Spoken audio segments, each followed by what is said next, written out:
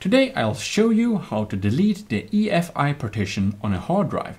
Remember that partitions that are usually not deletable by the disk manager are not deletable for a reason. And the reason is that they are essential for your hard drive you have your operative system on.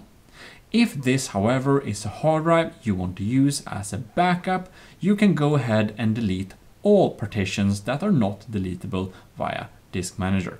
Hold Windows key and click R. Now you will get up the Run dialog. Write in disk mgmt.msc and click enter. This will give you the disk management. This program lists your disks. This is my hard drive and this is my other hard drive that I want to use to store data on. This has a operating system installed on it as well and you can see it, it has a recovery partition and the EFI system. These can be removed, but they can't be removed using disk management. But for what we need to do, we'll need to actually use command prompt. Click on your Windows key or the start menu icon and write CMD. Now you'll right click on command prompt and select run as administrator. Inside the command prompt you will write in the following. Disk part. Click enter. Now you will write in list disk. Now you will get all the hard drives available. They are listed in the same order as you can see in disk management. Using disk management will also help you to recognize that this is the proper hard drive. You can also, of course, browse File Explorer.